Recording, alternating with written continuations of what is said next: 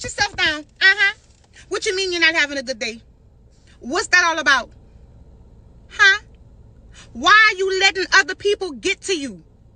In the, listen, right now, in this moment, you are enough. Right now, in this moment, you are enough. It does not matter what people say about you outside of right now. What matters is what you say about yourself. So in this moment, tell yourself that you are enough. Say it. Yes, say it again.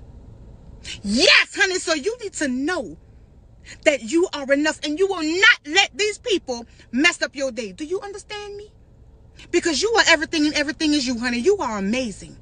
You are special. You are phenomenal.